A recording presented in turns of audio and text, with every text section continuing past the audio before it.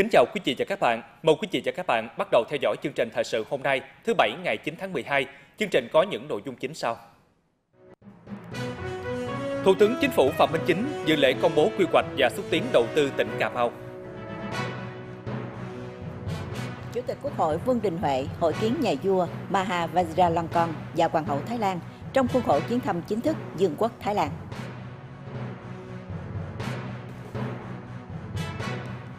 Đoàn nghiên cứu đề tài mô hình quản lý phát triển xã hội ở Việt Nam đến năm 2030, tầm nhìn đến năm 2025, cơ sở lý luận và thực tiễn, thăm và làm việc với Đài Phát thanh Truyền hình Vĩnh Long.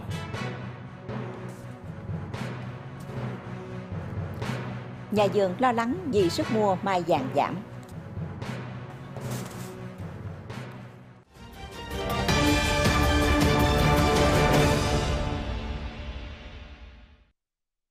Thưa quý vị, sáng nay tại Trung tâm Hội nghị tỉnh Cà Mau, Thủ tướng Chính phủ Phạm Minh Chính dự lễ công bố quy hoạch và xúc tiến đầu tư tỉnh Cà Mau.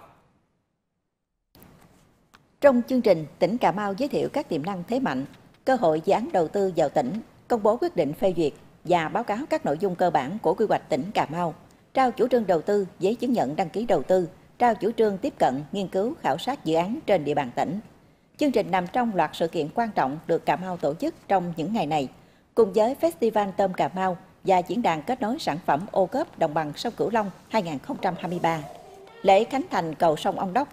khởi công dự án đầu tư xây dựng nhà ở khu đô thị mới tại phường 1 thành phố Cà Mau. Phát biểu tại hội nghị, Thủ tướng Chính phủ Phạm Minh Chính quan nghênh đánh giá cao tỉnh Cà Mau đã hoàn thành và công bố quy hoạch tỉnh thời kỳ 2021-2030, tầm nhìn đến năm 2050, đồng thời tổ chức xúc tiến đầu tư. Thủ tướng nhấn mạnh tinh thần quy hoạch phải khám phá ra được, tìm hiểu được những tiềm năng khác biệt, lợi thế cạnh tranh, cơ hội nổi trội, tư duy đột phá, tầm nhìn chiến lược, tư duy đổi mới, làm rõ những khó khăn thách thức để quá giải, từ đó phát triển nhanh và bền vững. Là một tỉnh của vùng đồng bằng sông Cửu Long, nên quy hoạch Cà Mau cần kết nối với quy hoạch vùng. Từ đó cần thực hiện quy hoạch tốt, hiệu quả, có giám sát, kiểm tra, đôn đốc. Bên cạnh đó có những vấn đề phải điều chỉnh trước những yếu tố tác động nhanh, không dự báo trước được, nhất là biến đổi khí hậu. Điểm lại những chủ trương chính sách lớn của đảng, nhà nước trong phát triển kinh tế xã hội, hội nhập quốc tế. Thủ tướng Chính phủ Phạm Minh Chính nhấn mạnh, Cà Mau phải vượt qua những khó khăn, thách thức, có niềm tin, bản lĩnh, có tinh thần tự lực, phát huy các nguồn lực để cùng cả đất nước phát triển. Trong thời gian tới, Cà Mau cần khai thác thương hiệu đất mũi cực nam của Tổ quốc, từ đó phát triển du lịch, khai thác tiềm năng, lợi thế lớn để phát triển năng lượng tái tạo, cảng biển tổng hợp, tăng cường ứng dụng khoa học kỹ thuật, phát huy nhiều điều kiện thuận lợi để phát triển thành trung tâm nuôi trồng, chế biến thủy sản, thực phẩm.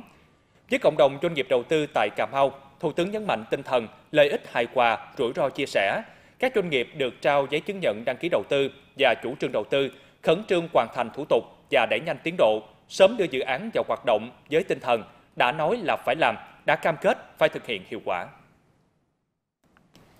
Thưa quý vị và các bạn, tiếp tục các hoạt động trong chuyến thăm chính thức Dương quốc Thái Lan.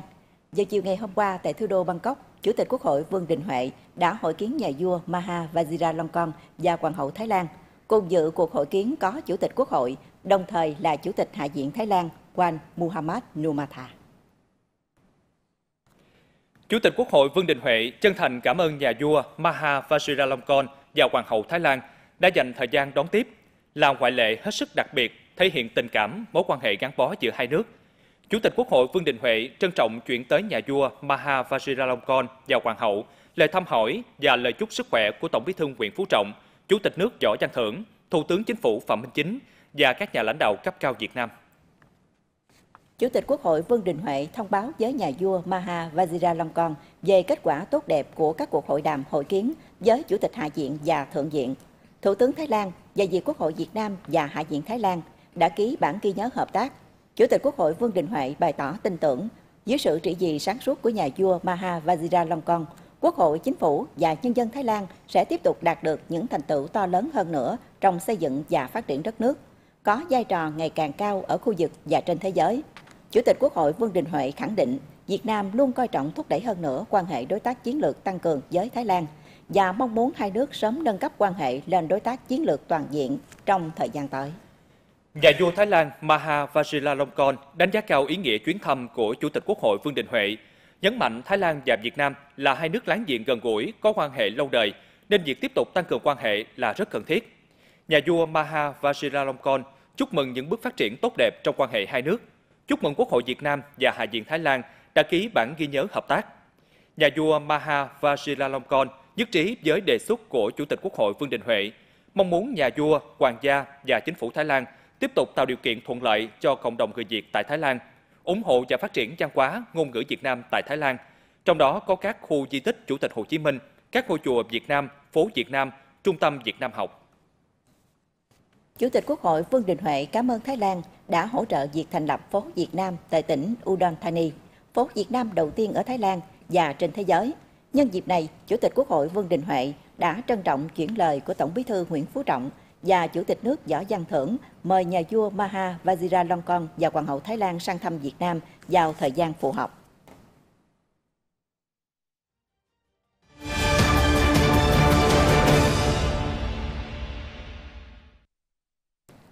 Chiều nay, đoàn nghiên cứu đề tài mô hình quản lý phát triển xã hội ở Việt Nam đến năm 2030, tầm nhìn đến năm 2045, cơ sở lý luận và thực tiễn do giáo sư tiến sĩ Phạm Văn Đức, nguyên Phó Chủ tịch Viện Hàn Lâm Khoa học Xã hội Việt Nam, nguyên Giám đốc Học viện Khoa học Xã hội Việt Nam, Ủy viên Hội đồng Lý luận Trung ương, Phó Chủ tịch Thường trực Hội Triết học Việt Nam làm trưởng đoàn, đã đến thăm và làm việc với Đài Phát thanh Truyền hình Vĩnh Long. Tham dự buổi làm việc có ông Trần Văn Rón, Ủy viên Trung ương Đảng, Phó chủ nhiệm thường trực Ủy ban Kiểm tra Trung ương. Tiếp và làm việc với đoàn, ông Lê Thanh Tuấn, tỉnh ủy viên, giám đốc Đài Phát thanh Truyền hình Vĩnh Long đã báo cáo khái quát về tình hình hoạt động của đài, việc sản xuất và phát sóng các chương trình với mục tiêu vừa đảm bảo thực hiện tốt nhiệm vụ chính trị được giao, vừa tạo nguồn thu phát triển sự nghiệp phát thanh truyền hình của tỉnh. Bên cạnh đó, đài còn thực hiện tốt nghĩa vụ nộp ngân sách cho nhà nước, đóng góp xây dựng các công trình công cộng, phúc lợi xã hội ở địa phương, góp phần xây dựng và phát triển tỉnh nhà.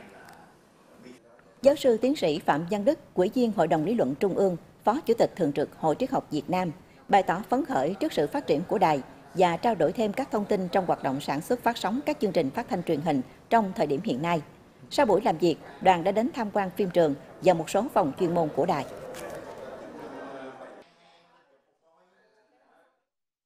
Hoàn thành phê duyệt tất cả các đề án vị trí việc làm trước ngày 31 tháng 3 năm 2024 đây là yêu cầu của Phó Thủ tướng Trần Lưu Quang để đáp ứng lộ trình trong quý 2 năm 2024, tập trung xây dựng hệ thống bảng lương mới, áp dụng từ ngày 1 tháng 7 năm 2024. Trước đó, Bộ Nội vụ thông tin, Chính phủ đã ban hành hai nghị định, 20 trên 20 bộ ngành đã ban hành thông tư hướng dẫn về vị trí việc làm, công chức nghiệp vụ chuyên ngành. 15 trên 15 bộ ngành đã ban hành thông tư hướng dẫn về vị trí việc làm, lãnh đạo quản lý và chức danh nghề nghiệp chuyên ngành và cơ cấu viên chức theo chức danh nghề nghiệp trong đơn vị sự nghiệp công lập. Phó Thủ tướng Trần Lưu Quang đề nghị các bộ ngành tập trung rà soát, điều chỉnh, sửa đổi, bổ sung kịp thời các quy định hướng dẫn vị trí việc làm theo ngành lĩnh vực, bảo đảm tính thống nhất, liên thông, đồng bộ, đồng thời tăng cường sự phối hợp, trao đổi, chia sẻ kinh nghiệm giữa trung ương và địa phương, giữa các bộ ngành và giữa các địa phương với nhau. Ủy ban Nhân dân tỉnh Vĩnh Long vừa ban hành kế hoạch triển khai thực hiện chỉ thị số 20 ngày 8 tháng 6 năm 2023 của Thủ tướng Chính phủ về tăng cường tiết kiệm điện giai đoạn 2023-2025 và các năm tiếp theo trên địa bàn tỉnh Vĩnh Long. Theo đó, Ủy ban Nhân dân tỉnh Vĩnh Long yêu cầu nhân dân, các tổ chức cá nhân sử dụng điện trên địa bàn tỉnh phải có trách nhiệm trong việc sử dụng điện tiết kiệm và hiệu quả. Các hoạt động tiết kiệm điện phải được thực hiện thường xuyên, liên tục tạo nên ý thức tự giác trong mọi hoạt động của xã hội, góp phần đảm bảo an ninh năng lượng phát triển bền vững. Các địa phương, các sở ngành tổ chức triển khai thực hiện nghiêm túc chỉ thị số 20 ngày 8 tháng 6 năm 2023 của Thủ tướng Chính phủ về tăng cường tiết kiệm điện giai đoạn 2023-2025 và các năm tiếp theo. Tổ chức phổ biến quán triệt việc thực hiện tiết kiệm điện tới toàn thể cán bộ, công chức, viên chức, người lao động của đơn vị, đưa nội dung tiết kiệm điện vào chỉ tiêu đánh giá mức độ hoàn thành nhiệm vụ, chấp hành kỷ luật nội bộ và thi đua khen thưởng hàng năm. Kế hoạch đã đưa ra nhiều nhiệm vụ giải pháp cụ thể trong thực hiện tiết kiệm điện tại cơ quan công sở, tiết kiệm điện trong chiếu sáng công cộng, chiếu sáng cho mục đích quảng cáo, trang trí ngoài trời, tiết kiệm điện tại các hộ gia đình, tiết kiệm điện tại các cơ sở kinh doanh thương mại và dịch vụ, tiết kiệm điện tại doanh nghiệp sản xuất, dân dân. Hướng đến mục tiêu phấn đấu trong giai đoạn 2023-2025 và các năm tiếp theo – hàng năm tiết kiệm tối thiểu 2% tổng điện năng tiêu thụ trên địa bàn toàn tỉnh. Đến năm 2030, có 50% các tòa nhà công sở và 50% nhà dân sử dụng điện mặt trời mái nhà tự sản, tự tiêu, phục vụ tại chỗ, không bán vào hệ thống điện quốc gia. Phấn đấu đến năm 2025, phấn đấu 100% chiếu sáng đường phố sử dụng đèn LED. Giờ sáng ngày hôm nay, Sở Giáo dục Đào tạo Vĩnh Long tổ chức hội thi Hùng biện tiếng Anh cấp tỉnh dành cho học sinh tiểu học năm học 2023-2024. Tham gia hội thi có 9 đội đại diện cho 8 quyện thị xã thành phố trong tỉnh. Trong đó, thành phố Vĩnh Long có 2 đội dự thi. Mỗi đội tham gia 3 dòng thi gồm tự giới thiệu, thử tài trí nhớ và hùng biện theo chủ đề về gia đình, trường học, lễ hội quê hương, môn học, thể thao. Hội thi nhằm tạo sân chơi bổ ích cho học sinh tiểu học được trải nghiệm giao lưu học tập, tạo môi trường để các em thực hành sử dụng giao tiếp tiếng Anh. Qua đó, bồi đắp cho các em sự say mê yêu thích đối với môn học để học tốt và tự tin giao tiếp tiếng Anh. Không yêu cầu công dân nộp xuất trình sổ hộ khẩu, sổ tạm trú khi thực hiện thủ tục hành chính thuộc thẩm quyền giải quyết của ngành bảo hiểm xã hội. Đây là yêu cầu của Bảo hiểm xã hội Việt Nam đối với Bảo hiểm xã hội các tỉnh, thành phố. Bảo hiểm xã hội Việt Nam cho biết đã thực hiện rà soát các thủ tục hành chính, dịch vụ công thuộc thẩm quyền giải quyết của ngành và bãi bỏ thành phần hồ sơ là sổ hộ khẩu, sổ tạm trú giấy trong các thủ tục hành chính lĩnh vực thu bảo hiểm xã hội, bảo hiểm y tế, bảo hiểm thất nghiệp, bảo hiểm tai nạn lao động, bệnh nghề nghiệp, cấp sổ bảo hiểm xã hội, thẻ bảo hiểm y tế. Cơ quan bảo hiểm xã hội đã hoàn thành việc kết nối với cơ sở dữ liệu quốc gia về dân cư, đảm bảo phục vụ việc tra cứu, đối soát thông tin của công dân và hướng dẫn triển khai thực hiện. Bảo hiểm xã hội các tỉnh, thành phố cần thông báo công khai quy định này để thông tin rộng rãi, tạo thuận lợi, đem tới sự hài lòng cho công dân trong việc giải quyết thủ tục hành chính.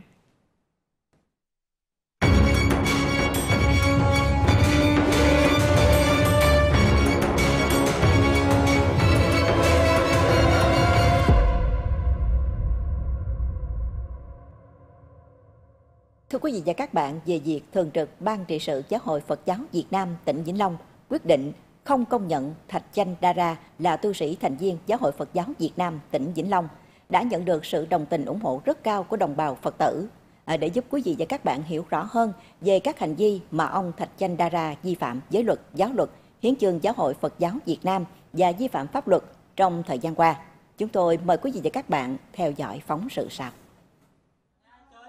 Trong thời gian sinh hoạt tại chùa Đại Thọ thuộc xã Loan Mỹ, huyện Tâm Bình, ông Thạch Chanh Đa Ra đã lợi dụng hình ảnh tu sĩ Phật giáo Nam Tông Khmer đã lôi kéo dẫn dụ một số đối tượng khác để tổ chức các hoạt động tuyên truyền nhằm chống phá nhà nước, chia rẽ khối đại đoàn kết dân tộc và tôn giáo. Đỉnh điểm sự việc xảy ra vào ngày 22 tháng 11 năm 2023 khi tổ công tác của chính quyền địa phương huyện Tâm Bình đến tuyên truyền vận động việc chấp hành pháp luật, ông đã kích động các tu sĩ và Phật tử gây mất an ninh trật tự, đồng thời có hành vi giữ người trái phép. Một số người tham gia trong tổ công tác của địa phương còn bị đánh dẫn tới thương tích. Đây là hành vi sử dụng bạo lực, cố ý gây thương tích, giam giữ người trái phép và chống người thi hành công vụ. Chưa dừng lại ở đó, một số người bên trong chùa còn dùng điện thoại quay video phát trực tiếp trên mạng xã hội với nội dung sai lệch, xuyên tạc hoạt động đúng đắn của tổ công tác và chính quyền địa phương. Không ai nhìn nhận ổng nhưng mà tự ổng đưa ổng lên. Rồi bây giờ là coi như chùa không có bổn đạo không có lợi gần. Theo ý kiến của tôi thì tôi cũng nhờ ờ, ờ, uh, luật pháp Ờ, làm sao cho nhanh nhẹn để cho ông cả kia ổng về để chùa lại sung túc như ngày xưa. Đó là cũng là không phải người tu thiệt như mấy ông ở đây đâu. Dạ. Ông làm vậy thấy, thấy sai rồi đó. Sai chỗ ông tu mà ông, ông theo đạo Phật á. Thế ông muốn chửi, chửi ai chửi ông muốn quánh ai quánh đây, đây không phải đạo Phật không không phải vậy đâu ông sai rồi tôi không theo ông đâu Trước những hành vi nêu trên, ngày 24 tháng 11 năm 2023, Hội đồng Yết Ma gồm 20 vị là chư tôn đức giáo phẩm, chư đại đức trụ trì các tự viện Phật giáo Nam Tông Khmer tại tỉnh Vĩnh Long, cử hành nghi thức Yết Ma theo truyền thống hệ phái Nam Tông để cử tội Thạch Chanh Đa Ra. Hội đồng ICMA kết luận những hành vi của tùy khưu Thạch Chanh Đa Ra đã vi phạm rất nghiêm trọng giới luật của Đức Phật, làm tổn hại đến thanh danh, đến sự hòa hợp giữa tăng đoàn với tăng đoàn, giữa tăng đoàn với ban quản trị chùa Đại Thọ, gây phương hại đến khối đại đoàn kết toàn dân tộc, vi phạm pháp luật, không xứng đáng là thành viên của tăng đoàn và Giáo hội Phật giáo Việt Nam. 100% thành viên của Hội đồng ICMA đã biểu quyết quyết định tẩn suất khai trừ Thạch Chanh Đa Ra khỏi tăng đoàn Giáo hội Phật giáo Việt Nam. Sư ờ, Thạch Chanh Ra có rất là nhiều lỗi vi phạm à, đối với luật à, trong đạo cũng như luật ở ngoài đời. Theo như sư được biết thì hôm đó một cái tổ cán bộ xuống để định làm việc, sau đó thì các vị đóng cửa lại. Rồi có những cái hành hung như vậy thì kể cả lực đạo thì cũng sai, tại vì lực đạo thì các vị tu sĩ đâu có sử dụng gậy gộc hay là dao búa hay là sỏi đá để mà xử sự một cách như vậy nó làm ảnh hưởng đến cái hình ảnh của tu sĩ của Phật giáo rất là nặng nề, rất là trầm trọng. Đối với những hành vi của Thạch Chan Ra làm ảnh hưởng à, gây mất đoàn kết tôn giáo và cũng à, làm cho mọi người à, nhận thức sai cái pháp luật của nhà nước Việt Nam với hiến chương giáo hội chia rẽ. Với tết chia rẽ vậy thì làm ảnh hưởng rất là lớn. Rồi sau đó thì với cái là nó không đúng chừng mực với tu cái với một cái à, người tu sĩ. Sau khi mà ban trị à, sự Phật giáo tỉnh là công bố quyết định không công nhận Chanh ra tu sĩ của Hội giáo Việt Nam thì ủy ủy ban nhân huyện là chỉ đạo ngành chuyên môn à, và phối hợp các các mặt trận, các đoàn thể và chính quyền địa phương xã Long Mỹ tăng cường công tác tuyên truyền, vận động Phật tử cũng như bà con nhân dân. Một là hiểu hiểu rõ cái hành vi sai trái của Thạch Chanh ra. Thứ hai nữa thì an tâm đến sinh hoạt, tín ngưỡng tôn giáo theo đúng quy định pháp luật. Việc vào cuộc quyết liệt của Giáo hội Phật giáo Việt Nam tỉnh Vĩnh Long giải quyết triệt để vụ việc nêu trên cho thấy các tôn giáo đang sinh hoạt trên địa bàn tỉnh Vĩnh Long đều bình đẳng và được tạo điều kiện tốt nhất để hành đạo đúng theo hiến pháp, pháp luật của nhà nước và hiến chương của Giáo hội Phật giáo Việt Nam. Mọi hành vi lợi dụng tín ngưỡng, tôn giáo để vi phạm pháp luật, vi phạm giới luật đều bị xử lý nghiêm theo quy định của pháp luật và hiến chương của Giáo hội Phật giáo Việt Nam.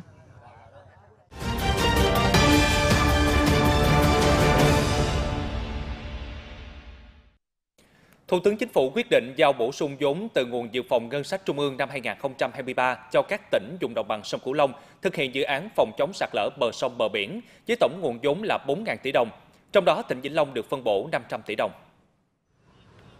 Thủ tướng Chính phủ yêu cầu căn cứ mức vốn bổ sung được giao, Chủ tịch Ủy ban nhân dân các tỉnh thành xem xét bố trí, chỉ đạo các cơ quan đơn vị liên quan khẩn trương hoàn thiện thủ tục đầu tư, giao kế hoạch vốn theo quy định của Luật Đầu tư công và các quy định của pháp luật chuyên ngành liên quan.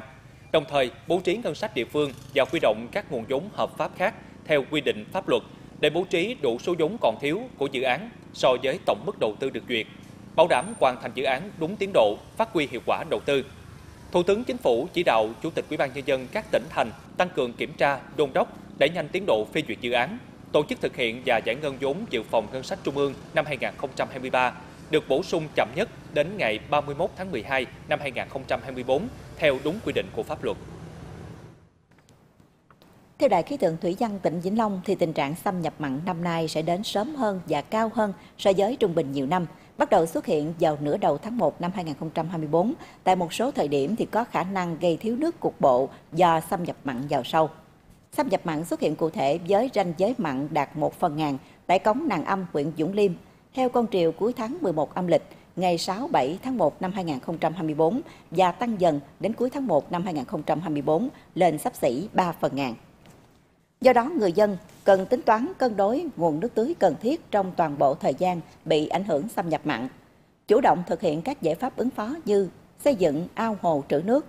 tích nước trong mương liếp, túi trữ nước, ứng dụng công nghệ tưới nước tiết kiệm, tưới nhỏ giọt.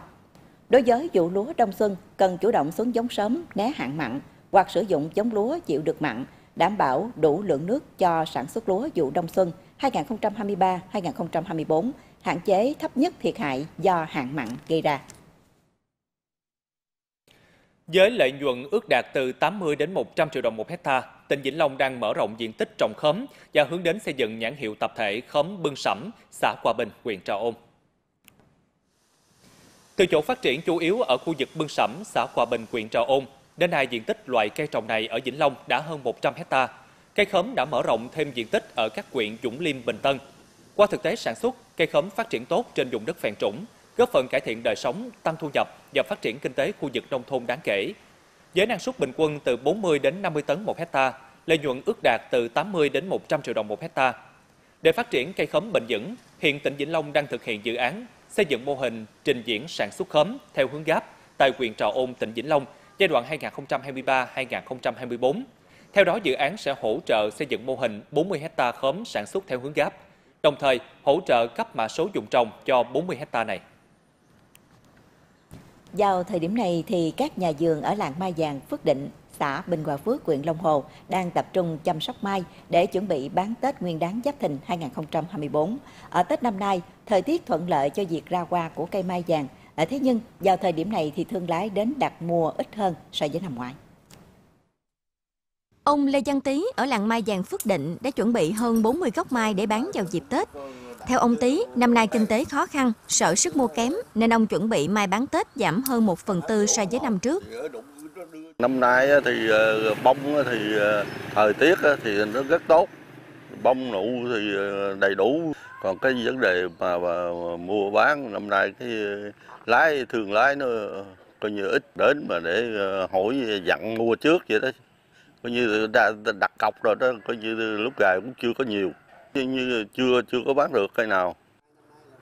Theo các nhà vườn, những năm trước, thời gian từ tháng 10 âm lịch, nhiều thương lái từ thành phố Hồ Chí Minh, Long An, An Giang, Đồng Tháp, Cần Thơ, Kiên Giang đã tìm đến làng mai vàng để khảo sát thị trường và đặt mua mai Tết. Thế nhưng năm nay có rất ít người đến hỏi mua mai. Theo mình thấy thị trường của Tết năm nay, thương lái thì nó so với năm trước là nó chỉ 3-40%. Trong tổng số hơn 6.800 gốc mai được uống sữa công phu của làng mai vàng Phước Định năm nay, đã có hơn 4.600 gốc sẵn sàng phục vụ Tết, so với năm trước giảm khoảng 20%. Đặc biệt ở làng mai này, các nhà vườn trồng mai với nhiều kích cỡ, từ mai cổ thụ cho đến mini, tất cả đều được tạo dáng đẹp và uống tỉa công phu. Giá bán cũng dao động từ vài trăm ngàn đến 300 hoặc 400 triệu đồng một cây, tùy theo tuổi cây, kiểu dáng, thế uống. Cá biệt có những gốc mai giá hơn 1 tỷ đồng là cũng trúng bông. Nhưng mà tuy về cái sức mua năm nay thì nó ờ, có phần giảm so với năm trước. Cùng thời kỳ thì, thì cũng khuyến cáo bà con là chúng ta cũng ờ, đừng lo quá lo lắng. Thời tiết thuận lợi, người trồng mai mong muốn sức mua từ nay đến cận Tết cải thiện để đón một cái Tết sung túc. Để chủ động trong công tác phòng cháy chữa cháy và hạn chế thấp nhất thiệt hại do cháy nổ gây ra, Ngày hôm nay 9 tháng 12, Phòng Cảnh sát Phòng cháy chữa cháy và Cứu nạn Cứu hộ Công an tỉnh tổ chức diễn tập phương án chữa cháy và cứu nạn cứu hộ tại chung cư Lô 5 thuộc phường 4, thành phố Vĩnh Long. Tình huống giả định vào lúc 9 giờ ngày 9 tháng 12 xảy ra sự cố chập điện ở một hộ dân tại tầng 1 Lô 5 chung cư. Vì đây là nơi đông người ở, có nhiều đồ đạc, thiết bị, đồ dùng chữa cháy, nên ngọn lửa đã nhanh chóng bùng lên và lan sang các hộ xung quanh. Ngay khi phát hiện đám cháy, lực lượng chữa cháy cơ sở đã gọi điện báo cho lực lượng chữa cháy chuyên nghiệp, đồng thời nhanh chóng ngắt điện khu vực cháy và sử dụng thiết bị phương tiện tại chỗ kịp thời khống chế đám cháy. Nhận được tin báo, Phòng Cảnh sát Phòng cháy chữa cháy và Cứu nạn Cứu hộ Công an tỉnh điều 7 xe chữa cháy cùng với 70 cán bộ chiến sĩ đến hiện trường triển khai các đội hình cứu nạn và dập tắt đám cháy. Với sự nỗ lực và biện pháp chữa cháy hiệu quả, sau 15 phút, lực lượng chữa cháy chuyên nghiệp đã khống chế và dập tắt hoàn toàn đám cháy, cứu được toàn bộ người và di dời tài sản đến nơi an toàn. Buổi diễn tập được đánh giá thành công theo yêu cầu, công tác phối hợp giữa lực lượng chữa cháy tại chỗ và lực lượng chữa cháy chuyên nghiệp chặt chẽ đạt kết quả cao. Thông qua diễn tập nhằm nâng cao tinh thần cảnh giác và rèn luyện những kỹ năng cơ bản về an toàn phòng chống cháy nổ cho các cư dân đang sống tại chung cư, kịp thời dập tắt đám cháy khi mới phát sinh, đảm bảo an toàn tính mạng và tài sản. Thưa quý vị và các bạn, còn hơn 2 tháng nữa là đến Tết Nguyên đán Giáp Thìn 2024, các nhà vườn trồng hoa kiển tại phường Thới An, quận 12, thành phố Hồ Chí Minh đang tất bật chuẩn bị chăm sóc cho vụ qua Tết, vụ qua lớn nhất năm. Và trong thời lượng còn lại của chương trình, mời quý vị cùng đến với những hình ảnh thể hiện không khí chuẩn bị rộn ràng tại một trong những vùng trồng hoa lớn nhất thành phố Hồ Chí Minh.